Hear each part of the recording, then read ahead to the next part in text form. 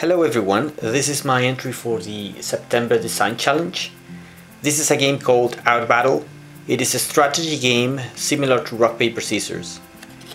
Players start with three cards and every turn they must show one of their cards at the same time with the action that they want to play facing upwards.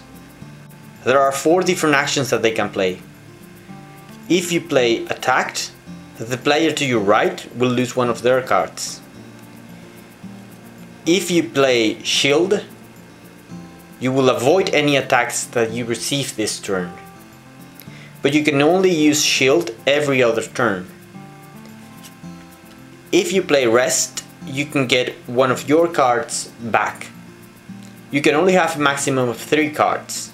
If somebody attacks you when you play rest, you won't be able to regain a card and the attack will be successful. So you, you will lose a card. Finally, if you play counter, you will avoid any attacks, but the attacker will also lose one of their cards.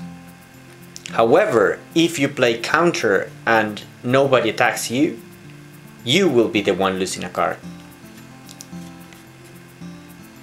The last player with cards remaining will win the game. There are several game variants that you can try.